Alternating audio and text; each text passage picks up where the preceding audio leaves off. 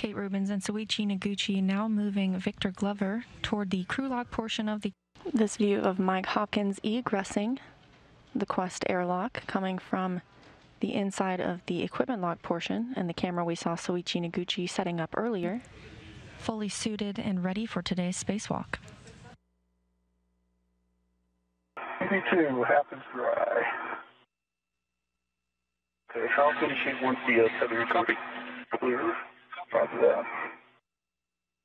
Alright. Cover is uh, mostly closed, and we've got the weight tether going. Okay. you can see there's uh, Yep. Let's go ahead and mate that hopper. So uh, you can you can mate the QD extender to the vent tool adapter. Okay, that's a good uh, config. The QD is closed as as expected.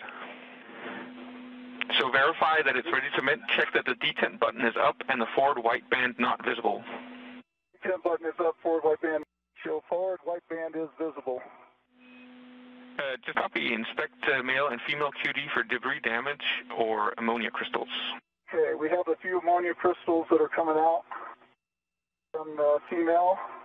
Actually, stand by. Let me put my BRT back down. Sorry about that, Andy. This is the jumper that he will coil and relocate to near the airlock.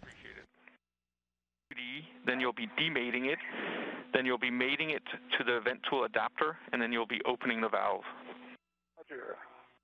Made it, forward white band visible. Perform snapback test and check forward white band is still visible.